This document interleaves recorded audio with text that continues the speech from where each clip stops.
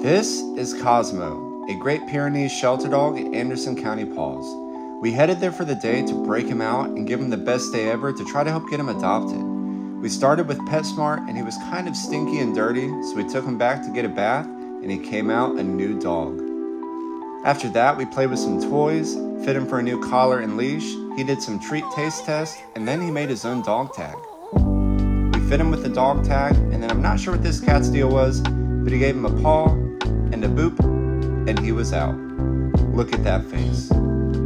He got to try his first pup cup, and then he went home to play with Teddy for a few minutes.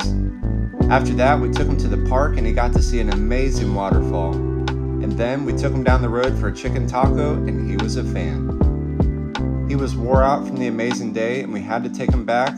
We said our goodbyes, but you can find him at Anderson County Paws. His adoption fee is taken care of. Good luck, buddy.